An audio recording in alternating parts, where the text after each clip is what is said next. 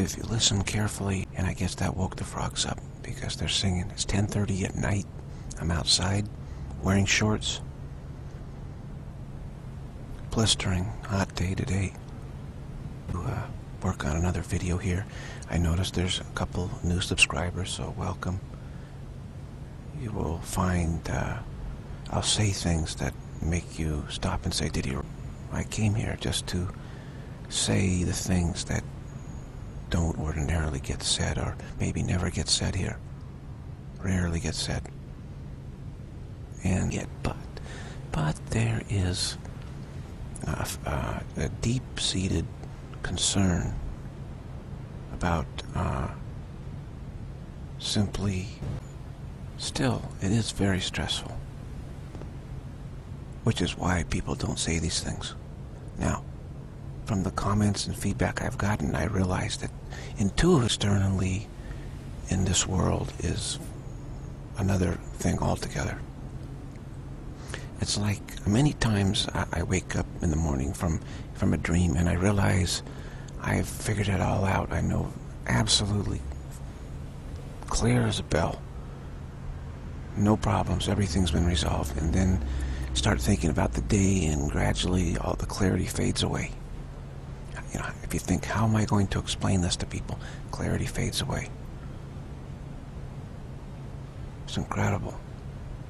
So there's there's the persona uh, of daily interaction and functioning that has one viewpoint and, and the viewpoint of just expressing stuff to the world. And then there's the other intuitive inner viewpoint which knows so much more, so much clearer.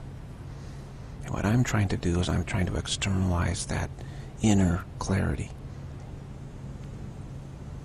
And for the most part, I'm able to do it, really. But it's, it's really too stressful. And still, I'm still alive, but sometimes the stress gets me feeling like I can't even uh, move. So I don't know how how wise it is to continue to say these things that uh, to the ego are absolute are absolutely outrageous.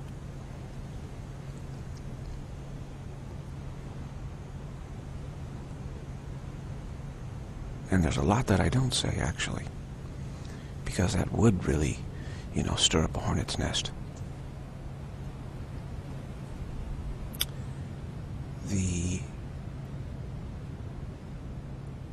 the tactics of the ego, those can be commented on, but that's when you really get into people getting upset. Because people see these tactics as literally uh, all important for their stability and for some sort of, you know, equilibrium. How to stay balanced within delusion. How to try to stay on the good side of delusion self-delusion, how to, how to make that work.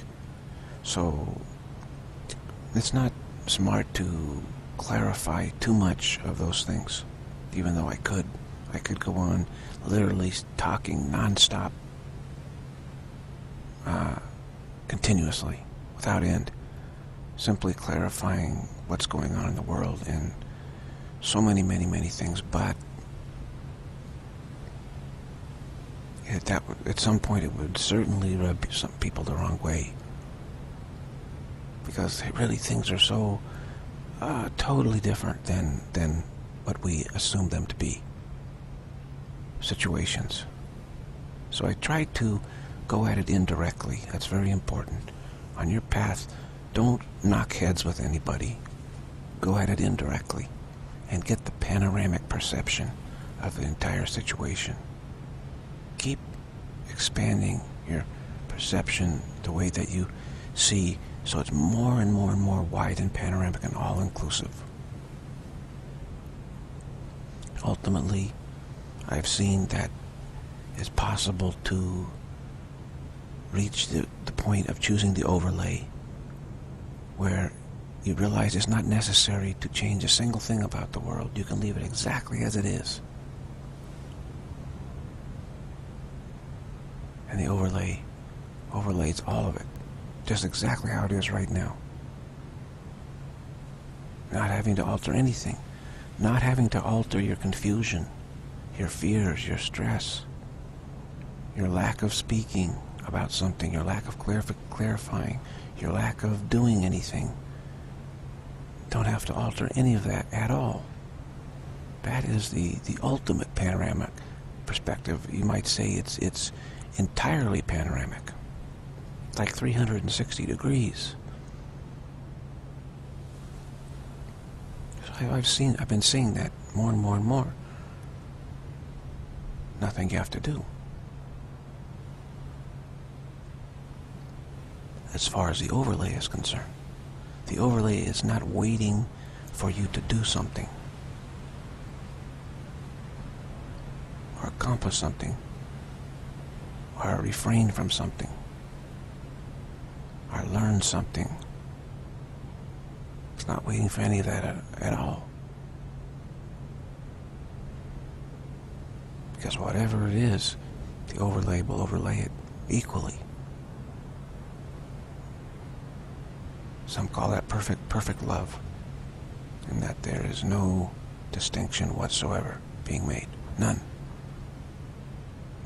Whether you did something or didn't do something makes no difference to the overlay.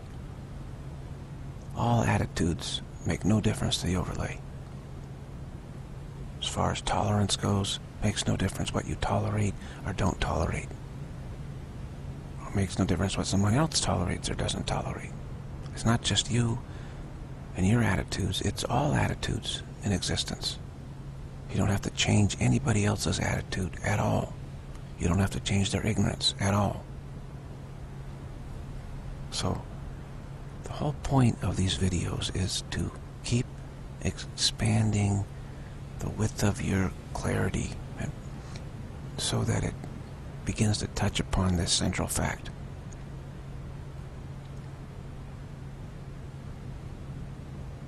And in touching upon it, it's kind of like a, a wow, huh? You know, so the reaction is, is just like, what?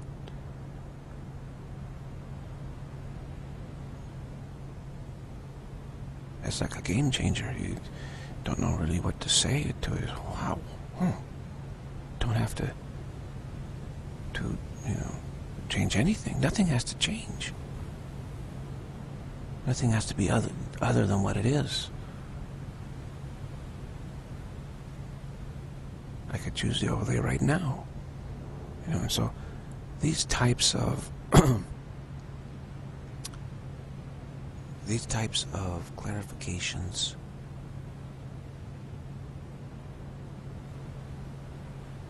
that's what tells you that you are really making genuine progress. If you can feel for just a moment that and you can see it like I really don't have to do anything at all. I really could choose the overlay right now. I could choose the, the new idea, the idea of not trying to be prime creator, which gives rise to the overlay. I could choose that right now. Or, or not. But whatever I do in the meantime doesn't make any difference to the overlay. As far as the overlay is concerned, there is nothing that anyone will ever do in time and space that makes any difference to the overlay. Nothing.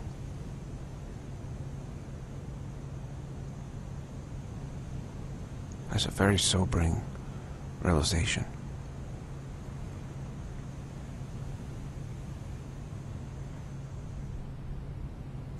Now, as far as if it, one chooses the overlay, one will be, of course, uh, impervious to a troubled state of mind troubled state of mind cannot arise within the overlay.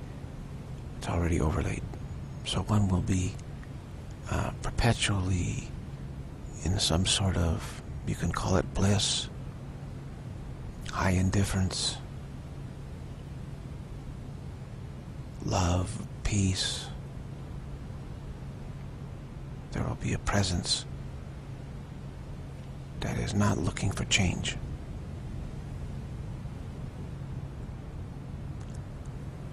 And then those who are still suffering in this world, they will be able to see that and say, ah, there is a way. There is a way. There is a remedy. Now, the Course in Miracles, or a Course in Miracles, I call it the Course, it's easier to say it, uh, says that the only, our only responsibility is to choose the atonement, or the at-one-ment, which is the vision of oneness, which is the overlay. That's our only responsibility. Because ultimately, that's all that we can do, really. As far as a true choice, that's the only true choice we, we can make. And in doing so, then it shows others that this choice is make is possible to make this choice. The option is there. So that's act of real compassion. True compassion.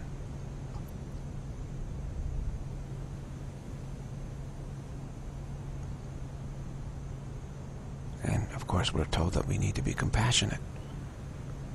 So I tell you, the, the, the only way to truly be compassionate is to show others that there is a remedy. There is an option. It can be chosen right now. It's doable.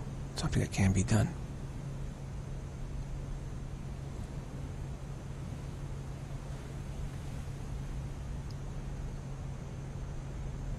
Now, oftentimes those who are suffering, they want uh, company in their suffering. Misery loves company. Which is, it's a fact that they really, really do. They want, uh, I call it the crab mentality. The, the one crab's trying to climb out of the, uh, climb out of the uh, aquarium or whatever, and the other crabs reach up and grab him and pull him back down. So none of the crabs can ever get out because the other crabs are clinging and grabbing and everyone's pulling and it's like a pit and they just stay down there The crab mentality where those who are suffering want others to suffer too, to make them feel better. And they say, well, maybe I'm not suffering so bad if someone else is suffering too. That, that means it's okay. So there's that. And, and uh, it's easy to, to, to, to assess where one is at on this, on as far as truth is goes. Truth goes because the, the more you go towards truth, the more you realize it, there's an option, the more you love to come across those who, who have chosen this option. You're looking for success. You're not looking for someone, other sufferers, to make you feel better.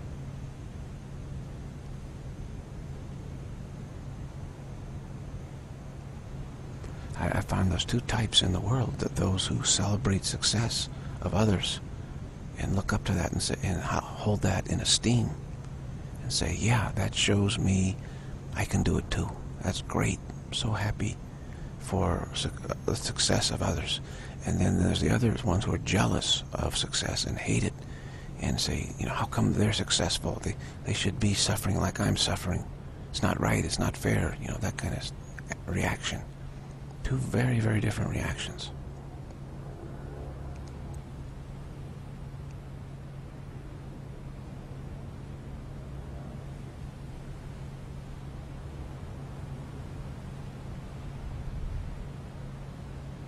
So I was fortunate to come across a number of, of great spiritual teachers. And uh, I saw very clearly that they were in this unperturbed condition. I said, how in the world are they managing this? It seems impossible. And I paid great attention, close attention, and I saw that it never wavered. It was permanent. Different condition, and it was not based on the vicissitudes of, of life, of this world, even, even the universe. It didn't matter whether the sun was shining or not. Nothing mattered. Nothing changed this at all. And so I, I said, you know, this is really something I don't know uh, how that's possible, but yet I see that it is. So there must be an explanation. There must be an option. That must be an option. And then they said, you know, you can you can be this way too. That's what they said to us. You can be this way too. Definitely can. And so then uh, the, the path widens out and you say, well, what is it? Let's let's find out. It's like that. Very simple. And then you try to get clarity, clarification.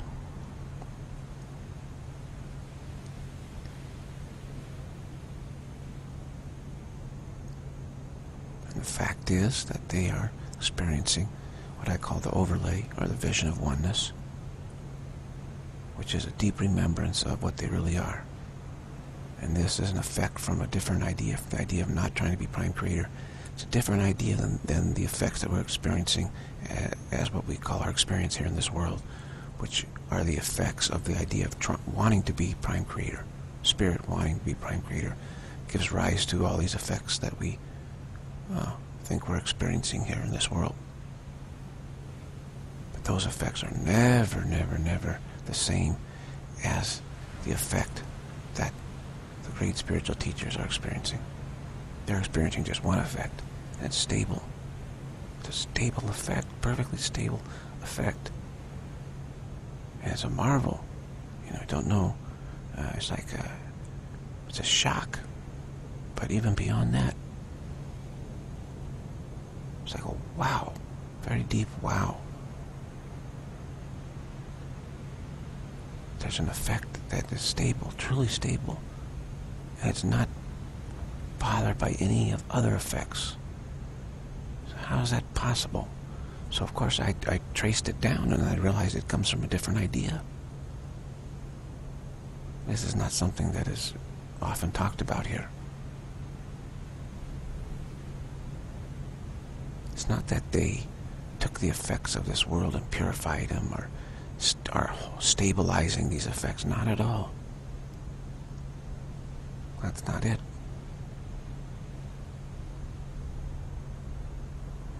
And it's effortless. They just abide in this one effect effortlessly. There's no, no difficulty. Now we're trying to meditate. We're trying to focus uh, on something struggling, making all these efforts, etc. And yet here are these great realizers who are just there, just sitting very completely effortless, no no difficulty at all. It's it's like their nature. It's what they are. They're experiencing this deep remembrance of what they are. Completely natural to them. And so we're like, wow, this is amazing how to account for this. And when we can't account for it, maybe a lot of people, they kind of say, well, give up. I, I can't really figure it out. There's just no hope for me.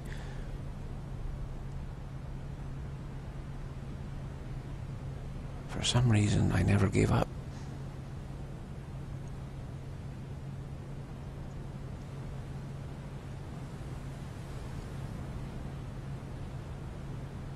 But I, I came into the world with the capacity learned from previous lifetimes to work on projects for a long, long time before they reach fruition. Even decades without any, you know, external success whatsoever. So for me, you know, spending a couple of decades or, or more uh, trying to, you know, clarify some just something uh, was was something I was used to doing. So I just increased that ability this lifetime.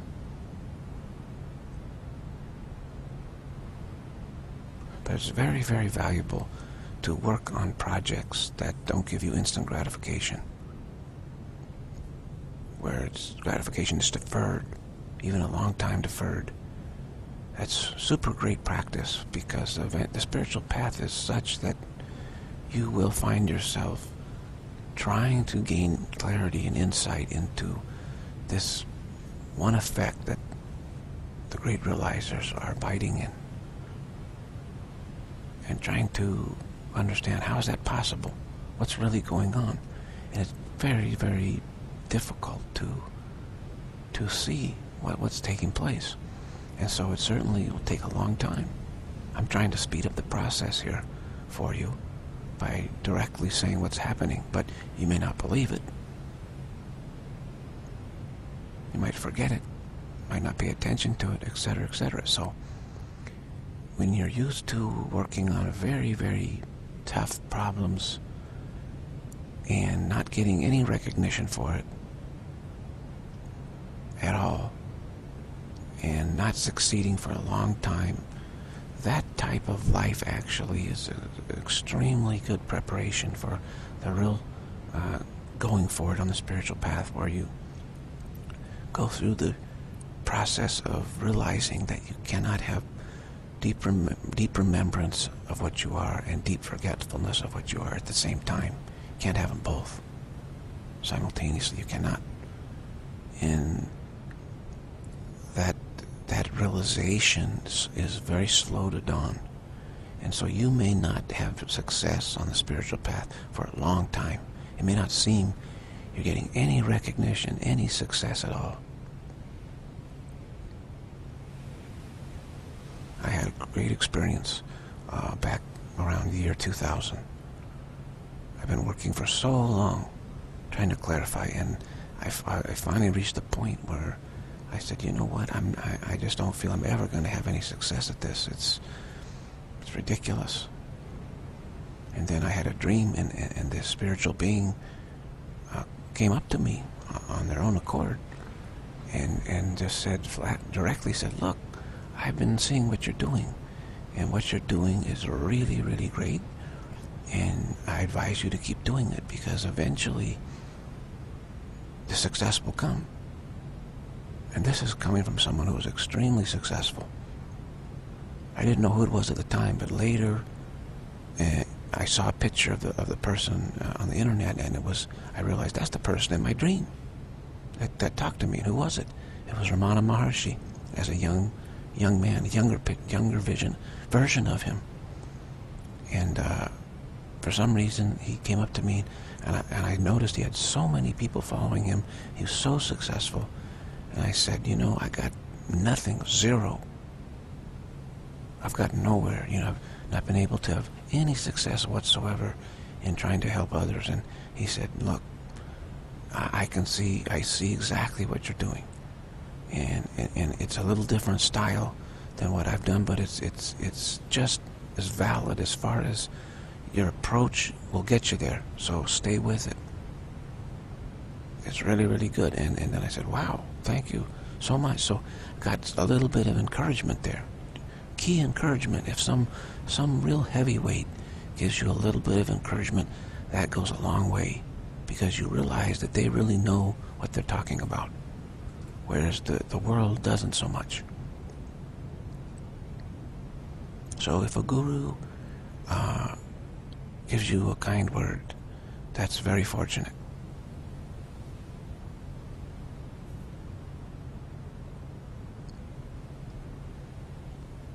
If they give you a pat on the back, they say, don't stop, stick with it. You're, you're really going to be very helpful. Ramana said that in the future, the work I was doing is going to be very, very helpful. He was certain about that. So I said, well, you know better than I do, so I'll just keep, keep at it. And so I was able to avoid giving up and been, you know, slugging away, continuing to slug away for an, uh, another decade or so of just constant, constant tough work. And it's getting clearer and clearer and clearer.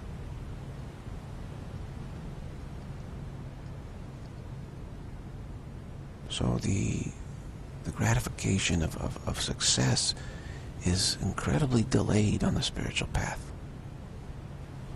And even for someone who's used to uh, delayed success, it, it becomes very frustrating.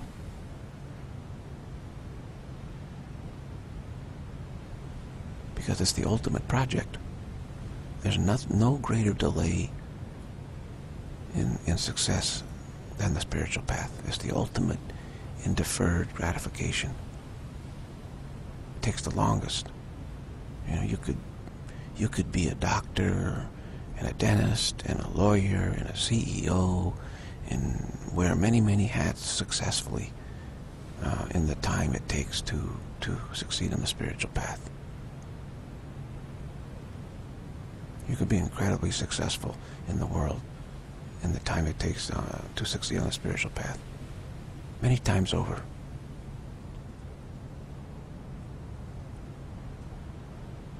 So it's, it's the lack of real success that makes it, you know, very, very frustrating and difficult. You know the answer's there, but it keeps eluding you. You know, it's not quite there. Not, can't keep it in focus.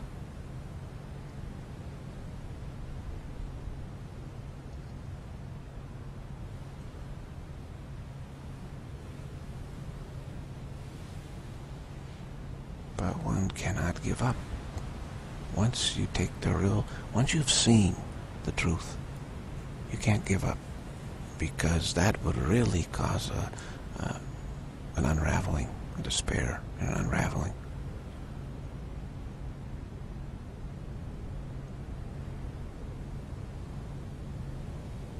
Because you know, you know it's just a complete waste of time to continue on in ignorance. Complete waste of time.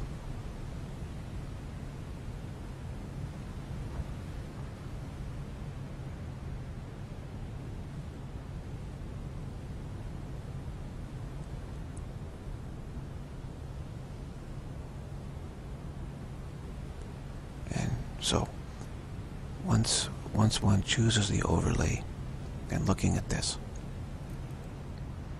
certainly there are those who, who will say, oh, okay, now you can help me with my problems now. Because you have a lot of energy. You're, you're so relaxed and you, seem to have just a tremendous presence of, of, of capability and competence. So surely you can help me with my, my problems and make it, you know, clean up my mess. But the important thing to remember is that's not it. Because the overlay does not ask you to clean up your mess.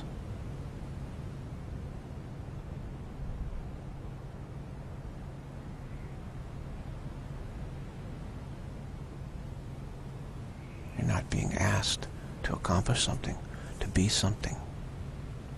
The overlay will remind you what you already are, have always been.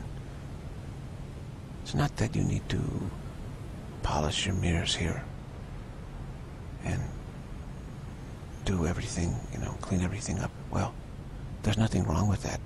I just spent a lot of effort uh, and work today cleaning everything up and, and because uh, that's nice. Nothing wrong with that. Everything is very, very uh, clean, and immaculately clean now, as much as can be, and beautiful in the surroundings here. A lot, a lot of work, very hard work. But I know that's not it.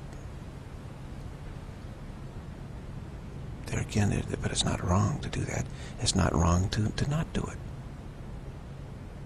So whatever one is doing, one can continue that or change it. It doesn't matter one way or the other.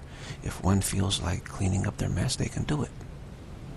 But it's not the purpose of the one who's chosen the overlay to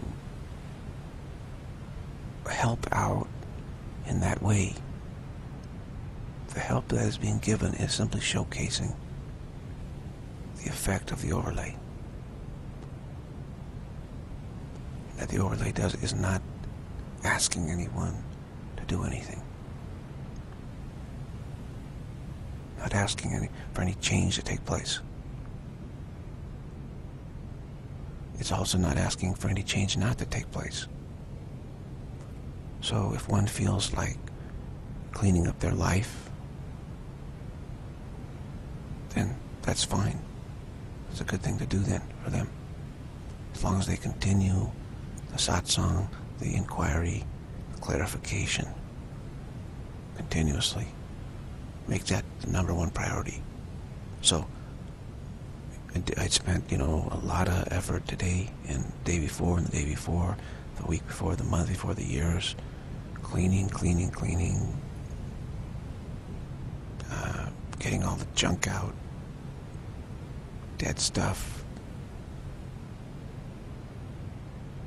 posting the feng shui, or whatever, however you say it, uh, of, of my surroundings, but still finding time for a satsang, for the videos, etc. That's number one. The other stuff is, is lower priority. So everyone is going to have a lifestyle, but the lifestyle has to be lower priority than the than the satsang. It has to be. You can miss out on uh, beautifying your surroundings, but you cannot miss out on satsang. That's a, a mistake. Must not make that mistake. Have to continue to push the issue.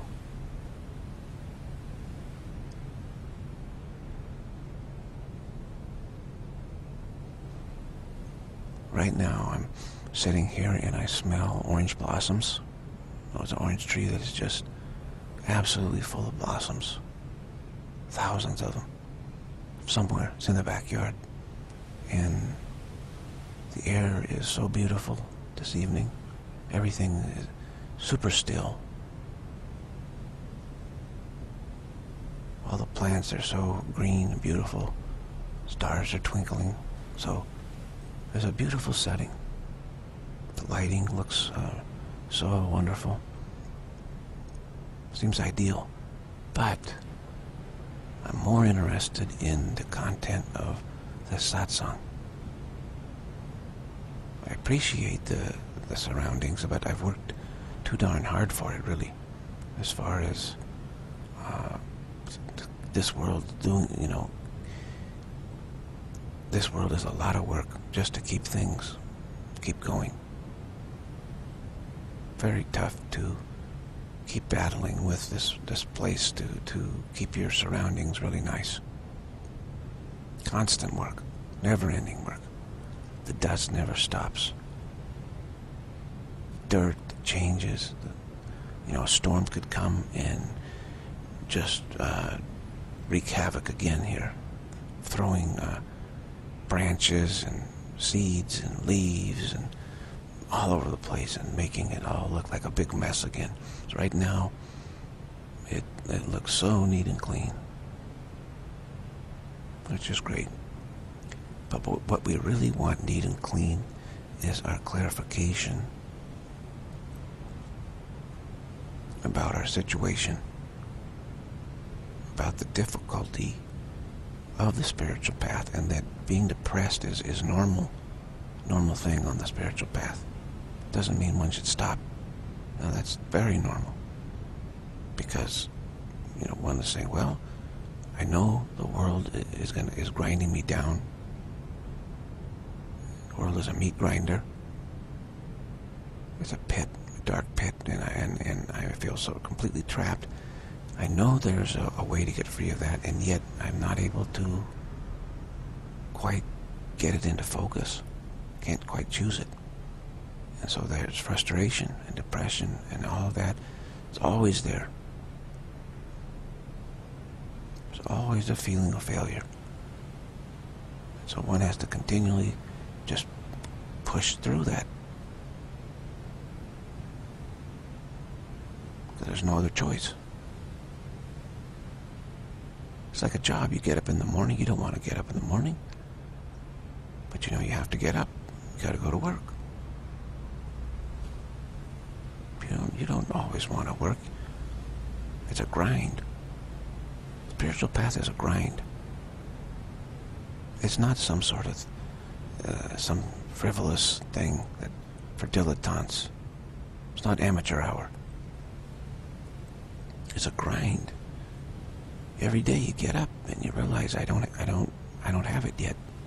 I'm still suffering. I'm still feeling the instability of existence. There's no stability. I don't have it. And you know you got to go through another day with that instability and uncertainty. You're at the mercy of all these effects. And how greatly we are at the mercy of all these effects we have no idea of the complexity and the dynamics of all the effects in existence and how that might affect us. At any moment, something unexpected can happen.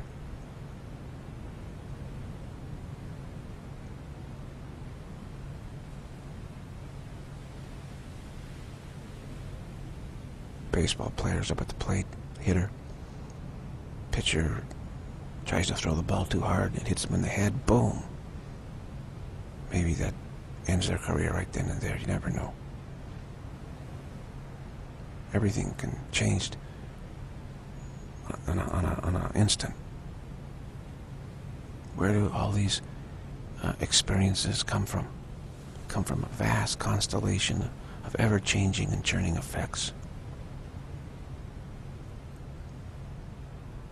We cannot possibly track down the origin of all that.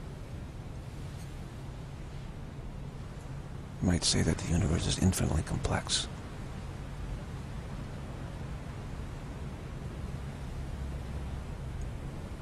And we're literally at the mercy of all of that.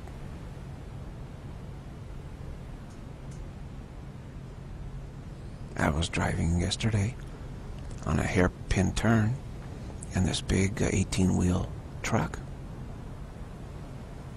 18-wheeler uh, came barreling down the hill, swing around that hairpin turn, right out in my lane. Fortunately, I had slowed down. I'm cautious of that turn. And I saw it, you know, coming, and I was able to slow down and get off the side. The truck roared past me. And then the trucker looked at me, and I was looking at him saying, you know, hey, you know, if, if, if I had been in a hurry and I was trying to cut that corner of the hairpin, boom, head on.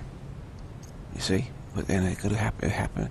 Just, I was, my mind was just kind of daydreaming a little bit. If I hadn't been really, if I didn't have a little bit of focus, a little bit of awareness, could have been it for me.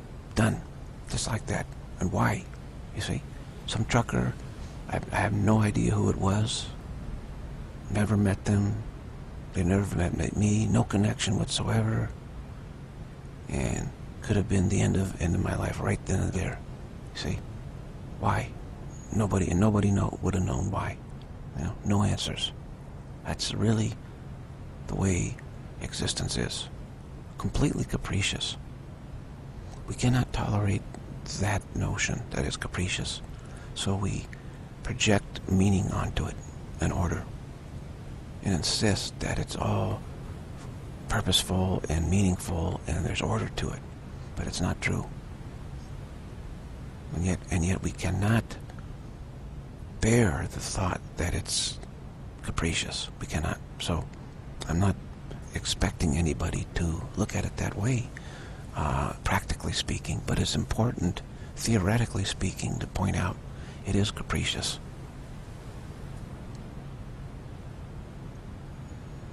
There have been books saying, why do bad things happen to good people, so to speak? That's pointing out why, why, why, why, why is capricious. The world is just a madcap dance. And, you know, somebody stumbles and bumps into you and knocks you off balance and you you know you go off uh, out of balance and next thing you know everything comes undone for you. Why why did the stumble happen? Why did someone bump into you etc etc no answer for it. It just simply is the uh, capriciousness of existence that is it's impersonal. It doesn't really care about you or anything. It is simply doing its dance. The churning of all those effects. Constant conflict, constant deceit.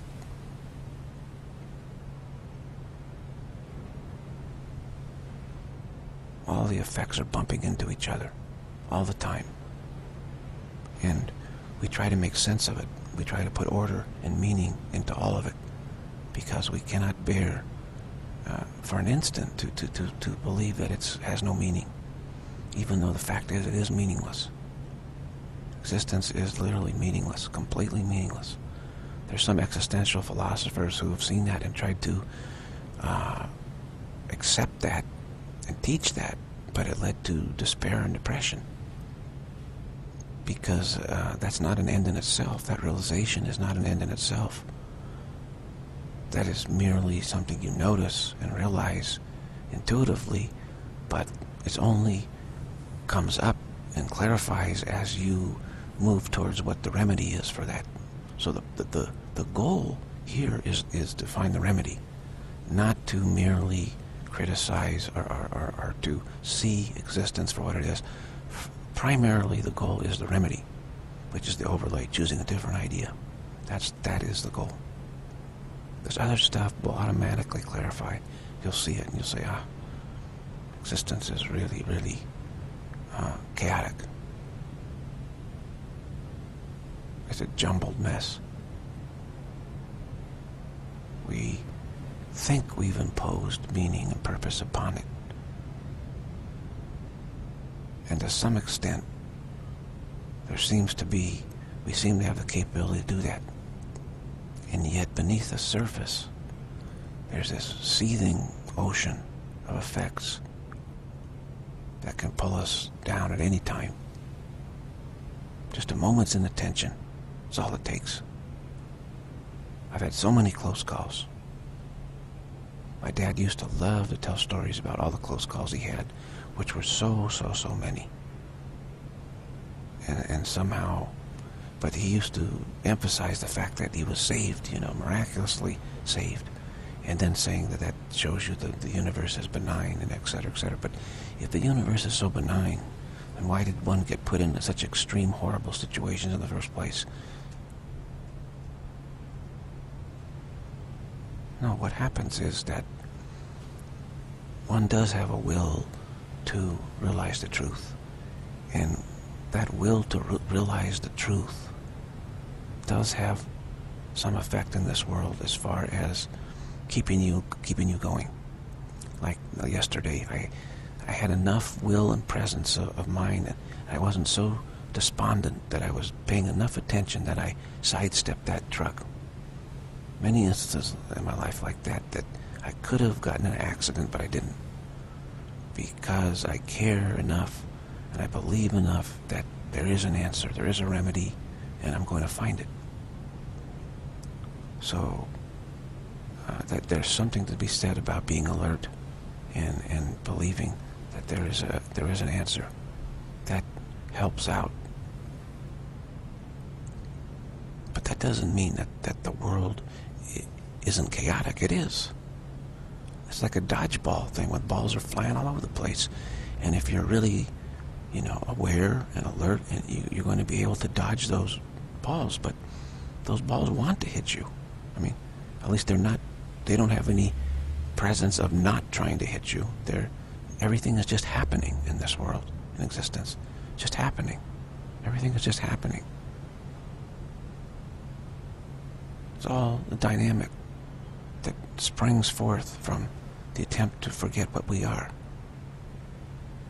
The idea that Spirit chose of wanting to be prime creator necessitates this vast dynamic of trying to, of forgetfulness. And this forgetfulness doesn't care about people or persons or anything other than forgetfulness. Of showing a picture of forgetfulness to Spirit. And it's chaotic. It's a mishmash.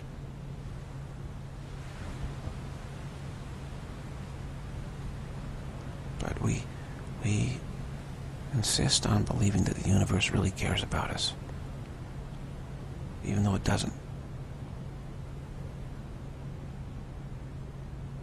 But the Prime Creator cares about us, that's for sure. We're, we're an idea in the mind of the Prime Creator. And we haven't left the, the mind of the Prime Creator. So we're, Prime Creator has perfect awareness of us. We are part of the Prime Creator. We're an extension of the Prime Creator.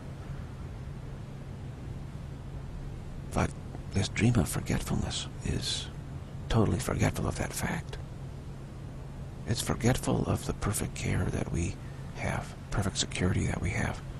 This, this dream of forgetfulness is a dream of insecurity. It's a dream of capriciousness. There's no capriciousness in reality whatsoever. Whereas in this dream, everything seems to be random, you know, random occurrences all the time. So many things happen. You look at that person and say, why did they do that? I mean, and they look at you and say, I don't know why I did that. I, you know, no reason, no rhyme, no reason.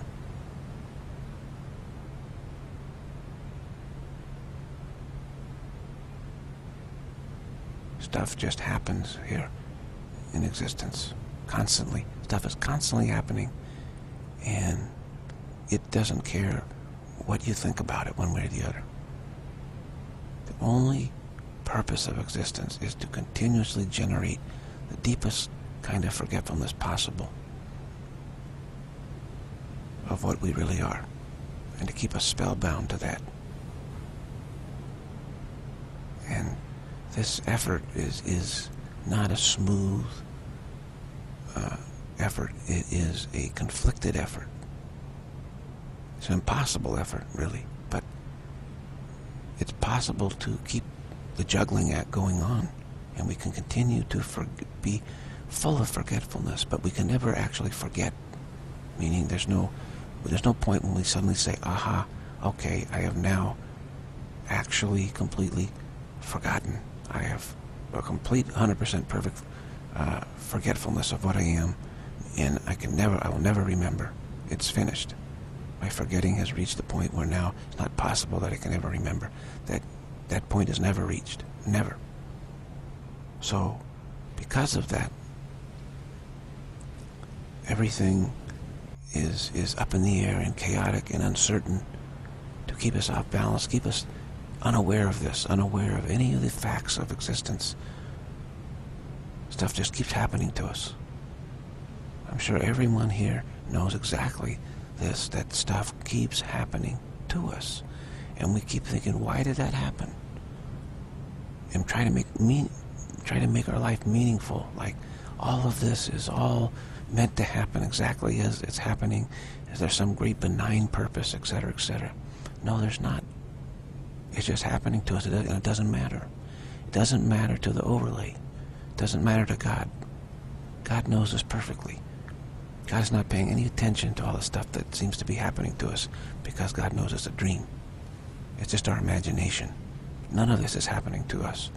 What we really are. What we really are is completely untouched by any of these dreams. So God is not interested in any, of, any of this of existence. What's all this dream of all this stuff that's supposedly happening to spirit, happening to reality, happening to prime creator? None of it's happening.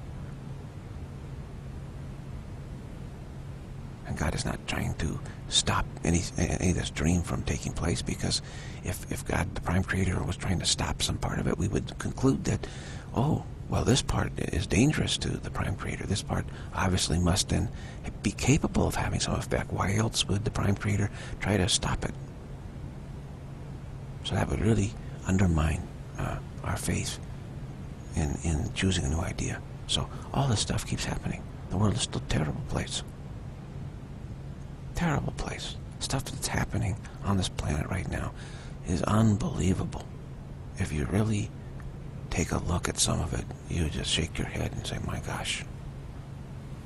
It's unbelievable, the wickedness uh, on this planet right now. There's also a lot of good stuff happening, too.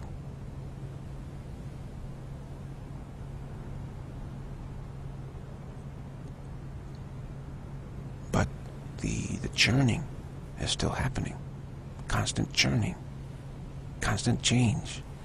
Constant instability it's all still just happening, as it always has, as it always will in existence. And we can develop all sorts of order and all sorts of civilizations, etc., but they all fall down. They all disintegrate in spite of our best efforts.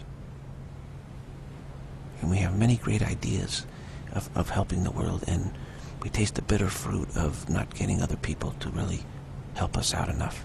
And then you look at other people and they're so successful and they're getting all the help and you wonder, how unfair, you know, how unfair is this that for some reason someone else's idea gets support and mine doesn't, etc. And you think, oh, God is unfair. No, God is not at play in the dream.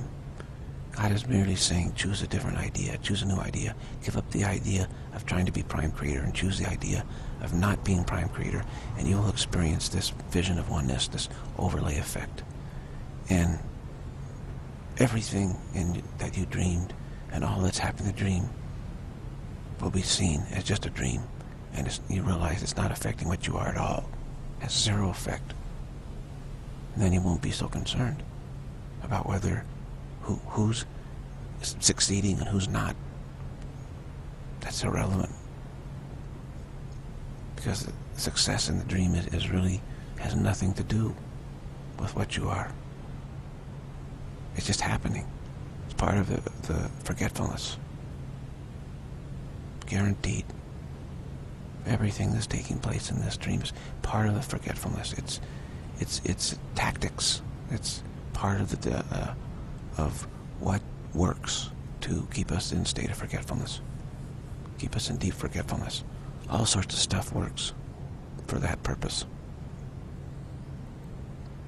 You see someone, homeless person, and you realize, huh, we say, ah, if it weren't for the grace of God, that's, that's me. I'd be like that.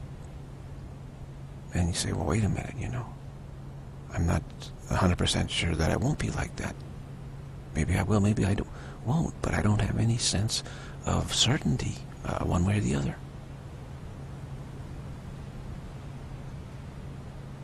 And if you live in a nice place, good situation, you don't have any guarantee that that will continue.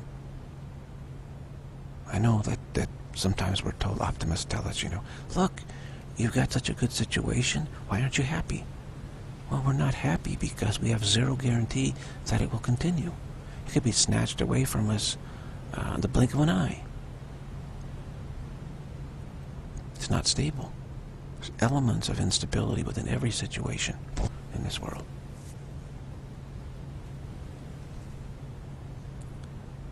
Hidden elements termiting the situation.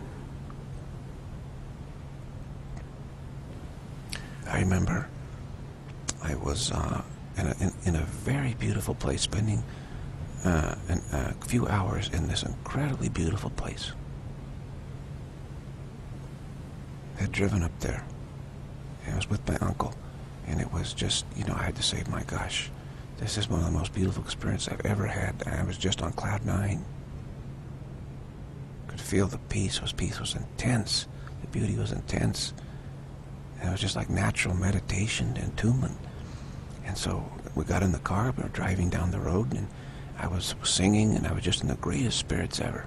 Really, I can never, never remember being in such good spirits. I came around to turn in the road, and there was all these people standing in the road, and all these cars parked at the side of the road. And I said, uh-oh, something doesn't look right here. And what happened was a terrible accident happened. And so I had to get out of the car and go down there, and I sort of took charge of the situation and had called 911. Nobody had called 911, and uh, it was horrible. And, you know, it was the most intensely stressful thing I've ever experienced. Just uh, people's, young people, devastated their lives. Their lives had changed in the blink of an eye. They, they had gone on a beautiful outing and had a fantastic day. And coming home, they went around a turn too fast, and the car flipped and turned and flipped over many, many times. And they weren't wearing their seatbelts. They got thrown from the car. And all this stuff, you know, it's just horrible. All in the blink of an eye on a beautiful, beautiful day. And then my day, I went from the highest type of spirits to just extreme shock and, and fear and, and feeling uh, of sadness and, and, and hopelessness and helplessness. I couldn't, I couldn't help the person. The one person was so severely injured, I couldn't do anything for him. All I could do was wait for the paramedics, you know. It was just horrible waiting. It took like half an hour or something. And I kept talking to the other guys, the survivors, you know, and said, you know, tried to calm them down and it, we, all the people there experienced, you know, this is the most intense thing. And I, so I had, I had gone from the, just the best experience ever to the worst ever, just in a blink of an eye.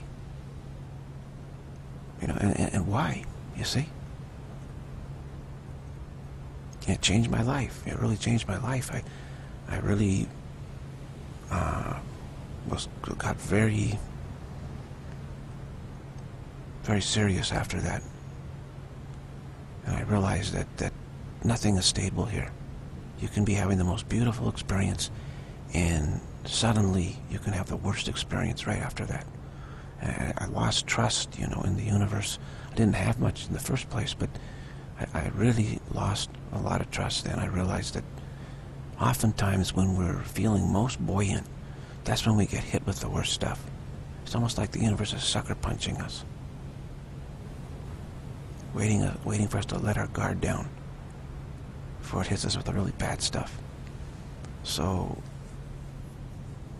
those types of things uh, leave a big scar, and you, and everybody runs through experiences, you know, where the, the tragedy strikes someone they know, themselves, someone they know, some situation.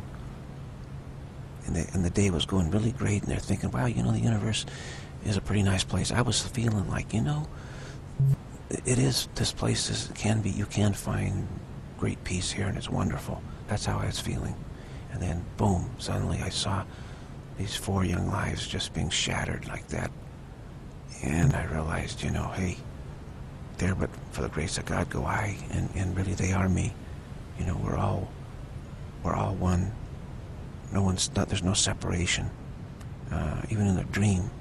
The fact is, if, if I'm this, this dream figure here, and that dream figure over there, they're both the same dream figures, really. There's no real difference at all between people, between dream figures, humans, bodies.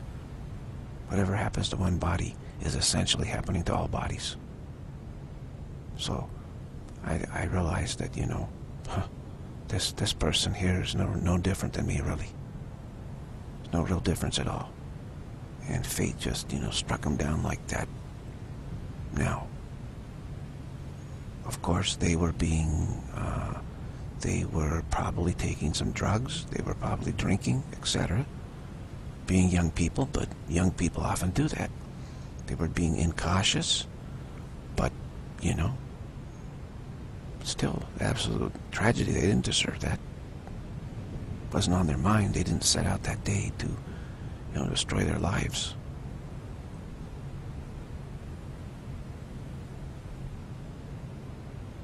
But they, they, you know, I mean, the driver, the, the three passengers, what did they do wrong? It's the driver that was, maybe the driver was distracted. Maybe somebody distracted the driver. You know, who knows? But it happened. And then, you know, it impacted my life severely. And why? I didn't know these guys at all. I didn't feel any connection with them at all, you know, just, but they, that situation had a severe impact on my life, changed everything. All sorts of stuff happened after that, that, that wouldn't have happened otherwise. And maybe uh, in the long run, they, you know, it got better. Or maybe not. Who knows? But stuff is always happening here. For better or for worse. And we don't really, we can't make heads or tails of it. And the great thing is we don't need to. Because we have access to the overlay. We don't need to make heads or tails, but we don't need to figure anything out. Figuring everything out is the booby prize. That means that somebody has neglected the, the overlay, neglected to clarify this, and spent all their time trying to figure everything out. So there's no need to be a know-it-all. I used to be a know-it-all, but now I'm not a know-it-all anymore. Maybe I, I, know some some basic stuff. It's very important stuff. But as far as all the being a know-it-all, no more. But I certainly know there are know-it-alls. Certainly, you, you, everyone runs into them, and they know, seem to know just about everything. But they don't know about the overlay. And Jesus said, take all your jewelry and sell it, and go buy that pearl of great price, just that one pearl. Meaning, you don't need to be a know-it-all.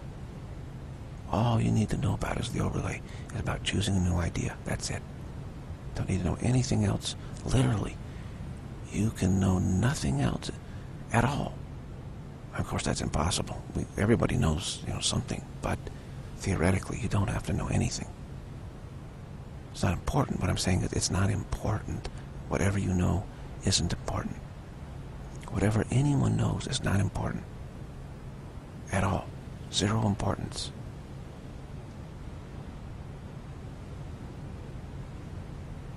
Only choosing a new idea, the idea of not being prime creator, and experiencing the effect of that, which is the overlay, the vision of oneness, the vision of Christ, nirvana, samadhi, Krishna consciousness, Christ consciousness, peace beyond understanding, abiding in the self, abiding in the now, all of those referring to the same thing. That's all you need. Because all you will be aware of is that that overlays everything, and that's the important fact. Not that what the overlay knows, or, you know, you're not going, wanting it to explain, well, how come that situation happened to me, you know? That's not the point of it. The point of it is that it doesn't matter what happened to you or didn't happen to you. It never mattered. The overlay overlays everything. Whether it, something happens or doesn't happen doesn't affect the overlay at all. It's an effect. It's one effect that is unaffected by any other effect. That's the pearl of great price. That's the pure gold. That's the alchemist gold. That's the self. The one effect that is not affected by any other effects. That's the goal. That's the goal of all satsang throughout all history. And so we're just continuing that right now.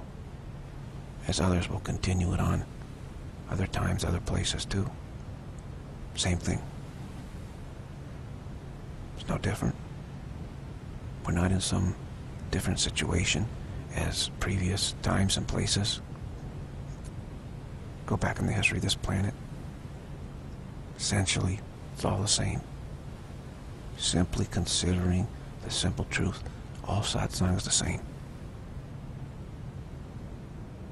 It just happens where you are in space and time and situations, you'll come across something. And it simply is a reminder uh, about the overlay, reminder that's all you need. That is the sovereign remedy. That's all you need to do. And you don't need to know anything other than that. You certainly will know how to function.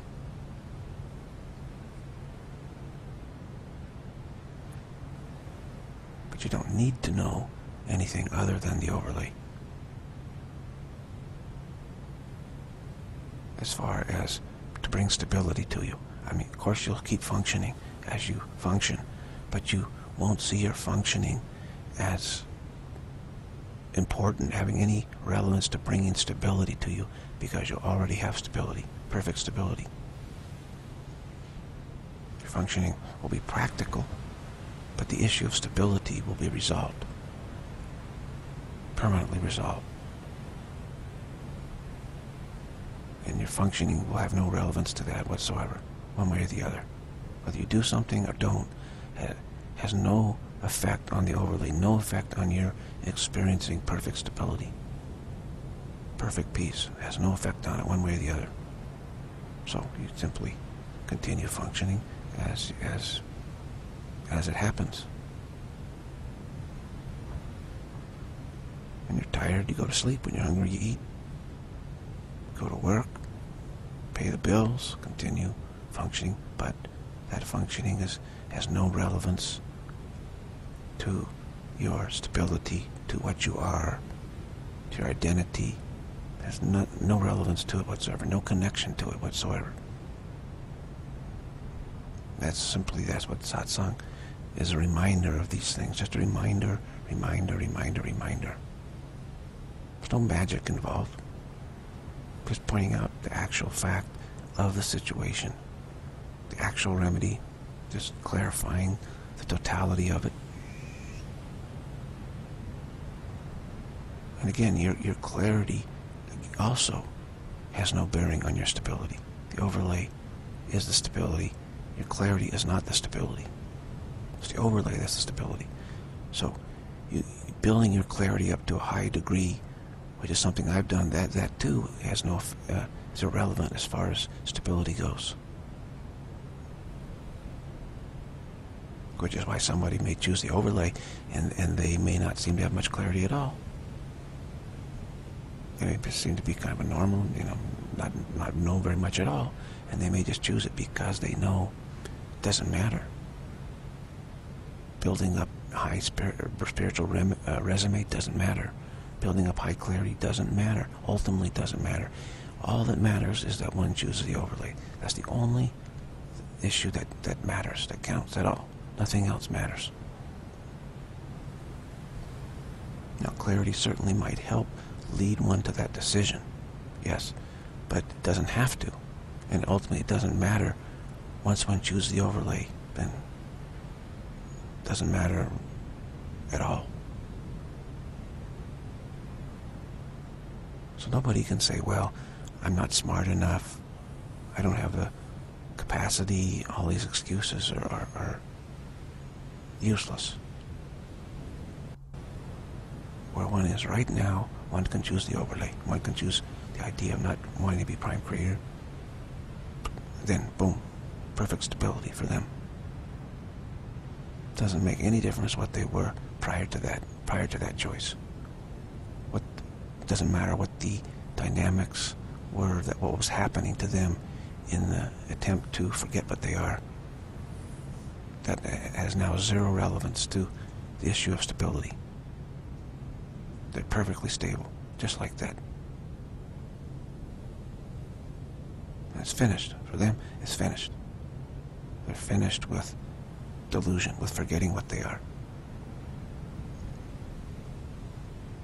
So there may be some people who or feel like they don't know very much. And they're thinking, mm-hmm, uh, there's something in them that's saying, you know, I feel like I'm very close to truth, and yet I don't really feel that I'm, the world sees it that way at all. Well, those are probably the, those who are in the best situation because they, deep down, they realize it doesn't make any difference what the world thinks of them one way or the other. It's all irrelevant. Doesn't matter if they don't know anything about spiritual teachers or spiritual teaching or anything.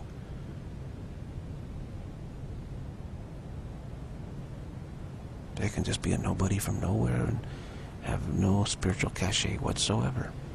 Doesn't matter. But they may suddenly, they may be very close to realizing, hey, it doesn't matter at all. None of it matters. I don't need any of it all of that stuff that I was trying to get was for the purpose of stability. But now I see that the overlay brings the stability, brings the stability of remembrance, whereas everything else simply brings instability of forgetfulness.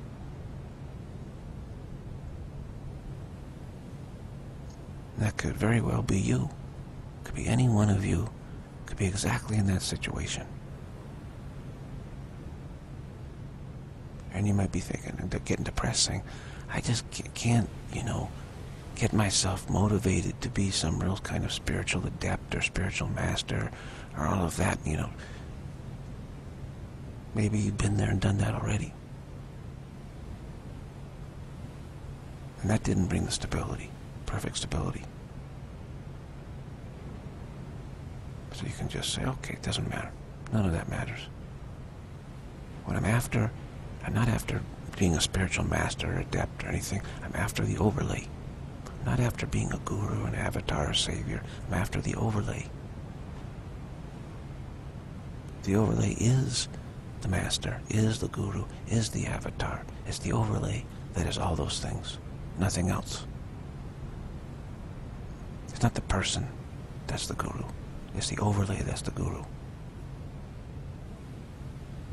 It's not the spiritual adept that's the guru. That's the guru. It's the overlay.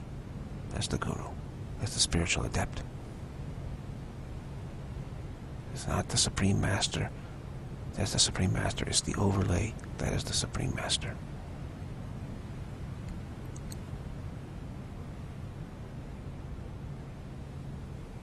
So as far as the overlay is concerned, an avatar is exactly the same as some homeless person starving. No difference.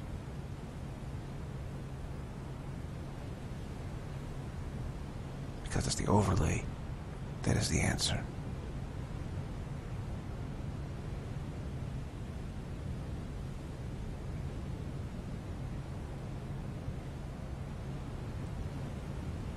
And everything else is not the answer. Everything else is a zero. So there's no difference between this zero and that zero. You could say not this, not this, not this, not this, meaning zero, zero, zero, zero, zero. But keep going. Go from the very lowest to the very highest and realize it's all zero. From the most uh, depraved, wicked person in the world to the highest avatar. It's all zero. Because it's the overlay that is the answer, not any person, not any function at all.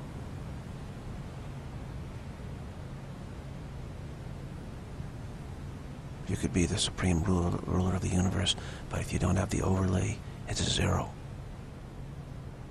No stability. Still completely vulnerable. Even though there's an illusion of control, it's really vulnerability.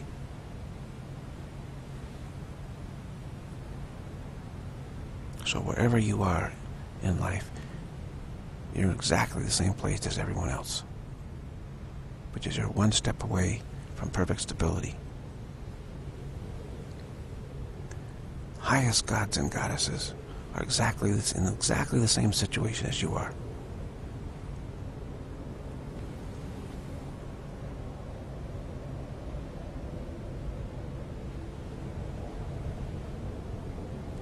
And as you see some kind of low life walking along, criminal, some drug addict, someone you can tell is really very down and dark and dangerous, they're also in exactly the same position you are.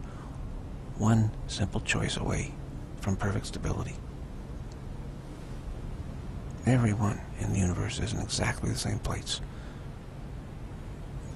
Shares the exact same status as you and as me and as everyone else. Same status. We all have the very same status. That is, we're one simple, tiny choice away from perfect stability. And that will be the true forever.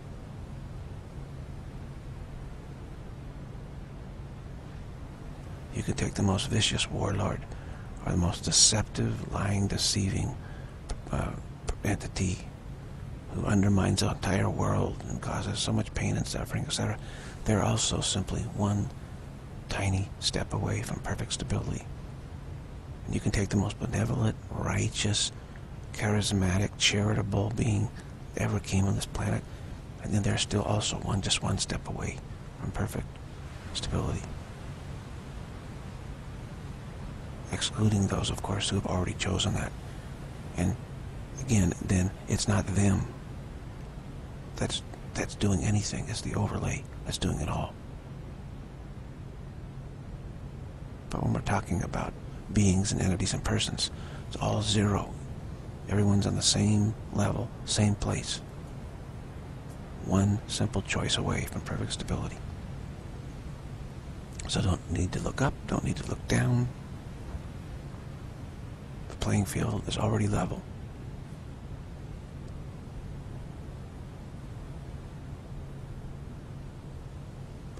Oftentimes the gods and goddesses and the deities, etc., they don't consider that. They think, oh, look, we're so great. We're, we got so much under control. We've got all these wonderful attributes, you know. But well, we don't need to choose the overlay. Look how successful we are. It's oftentimes the one that's really down, far down. They, they say, you know what? I used to be at real high up. Now I'm really far down. I, I, I'm tired of this seesawing, yo-yoing existence. I want to get out of this stupidity, this game. And then they say, ah, okay, the overlay's the way. But, again, everyone is equally close to perfect stability and will always be that way. Nobody will ever, ever get any further away from that than one simple, easy choice. Impossible. So, what's the use of wasting time? You could come back to this planet, you know, or some planet in a million years from, from now, and things will be exactly the same in that regard. No matter where you go in the universe, it's all exactly the same. Everyone there is still simply one simple, easy choice, one step away from perfect stability, perfect remembrance of what they are. That fact is a sovereign fact that was has been there from the very beginning of this universe and will remain always. So everything is exactly the same. So why worry? Why have another life?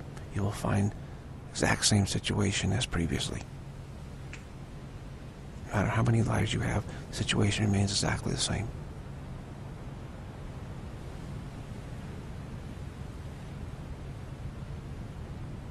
No matter where you find yourself, what planet, what dimension, exactly the same.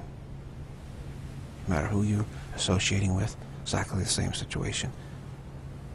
No matter where you go, exactly the same. Can never escape this fact. Every one is one simple choice, one simple step away from perfect stability. And they can never, never change that fact. They can never get two steps away. It's always one step.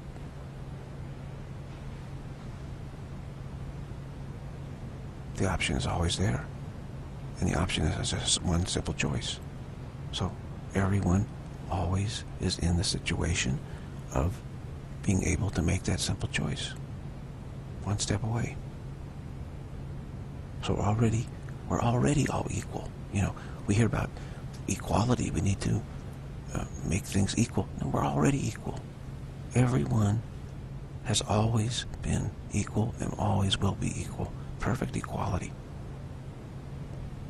Because everyone is one step away from perfect stability. How could there be greater equality than that? Not possible. No matter what situation someone is in, fact is that they're, in regards to stability, they're simply one easy step away from perfect stability. So how bad is that? It simply is not any worse than any other situation.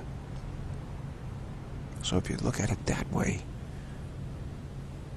you may consider that continuing on in existence is, is folly because you're not really going to come across anything any different at all.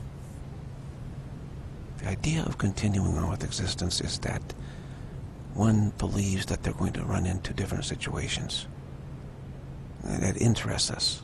We think it's going to find interesting stuff. But if you see the situation for what it really is, you will soon realize you're not going to run into anything different. I can honestly say, all my time here in the world, everything's remained exactly the same. Nothing has changed at all as far, far as this key issue, issue of stability.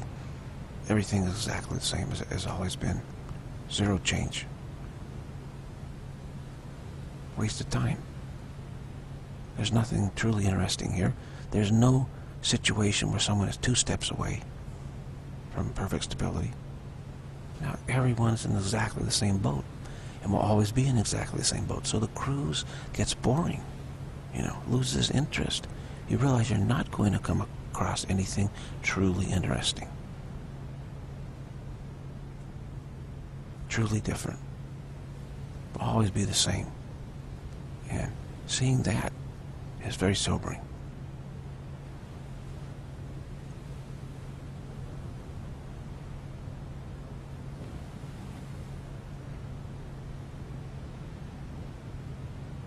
and it must be getting late because the lights just went out. yeah.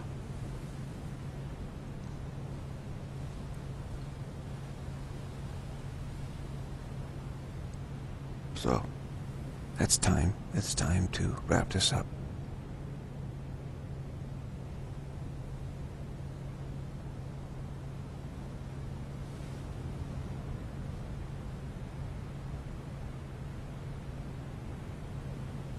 Well, it's Friday night and the frogs are, are still at it. They're enjoying the, uh, the evening. As have we. Okay, very great. That's it.